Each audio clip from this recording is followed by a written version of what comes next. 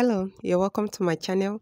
Today I'll be showing you how to draft a princess dart busty with a basque waistline. Okay, so let's switch from the normal flat waistline and add some styles to our dresses. Okay, so please, we'll be drafting a basque waistline dress. Okay, so enjoy. So I have my basic bodice here, the bust points, the under bust and the waistline. Okay, so ordinarily would have stopped at the waistline. So adding a basque waistline now, you go down by at least 5 inches from your waistline. Remember, like at least 5 inches from your waistline. So that's the line I just drew now. That's the basque waistline. We'll, be, we'll use it for the extension. Okay, so I'll go ahead and create the armhole. Okay, so um, I have series of videos about this. Find the midpoint of that and go in by 3 quarter inch. Create the armhole curve okay? Then I'll go on and fixing my nipple to nipple distance divided by 2 so my 7 divided by 2 that's 3.5 for the dart placement. So I mark this 3.5 down to the basque waistline also then connect it with the straight line. So for my princess dart busty I'll be marking the 2 inches on just one side side that is close to the armhole that is the side of the yeah towards the side. Just like so on the video. Okay so i stop under the bust then use my curve ruler to connect the two inches down to the 3.5 just like so. Okay so now i went i went ahead and fixing my bust round the cut of my bust round measurement on the upper chest line. As you can see okay so i measured that round. Then i found the midpoint. Mark the midpoint. That's the way i'm doing. Okay. Then from the midpoint i came down by half inch. Okay then i connect it to my um dart placement. Then went up by one inch. Then connect it on both sides with half inch. Okay. So that one inch dart i also extend this by one inch okay? Just watch the video carefully so that you understand what i'm saying. Okay so that is it about the dart.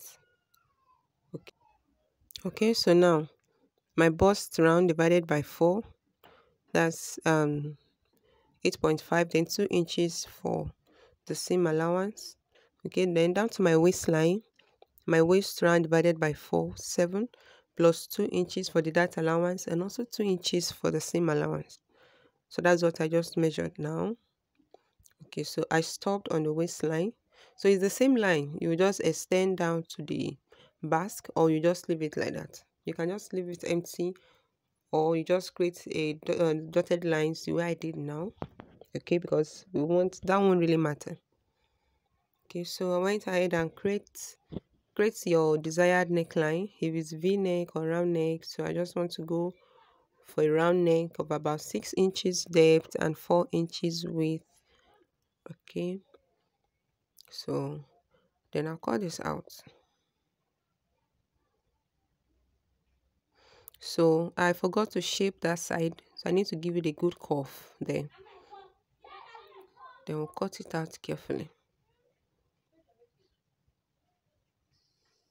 just watch the way I cut this out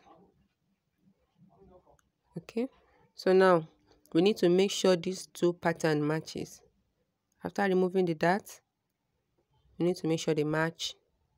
You can see the lines align. And at the shoulder too, it went so well. So now I have to cover the dart, cover the dart and just, yes, in order to create my basque waistline. This is the deal. Now, so make sure you cover the dart, you overlap and just cross and just roll it like so.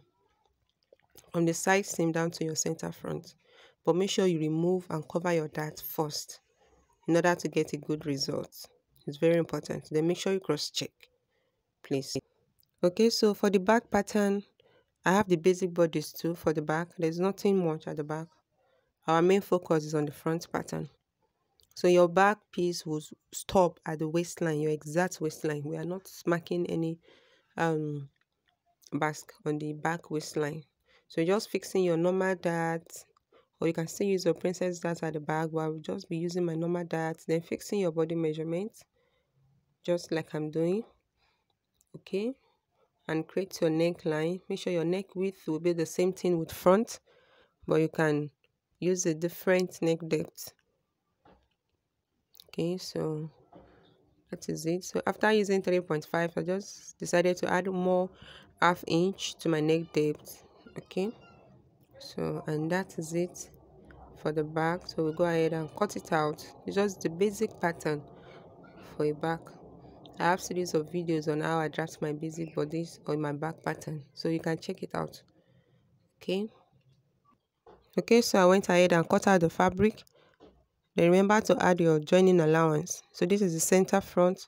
I'll be using a velvet material for my front then the main african print for the back.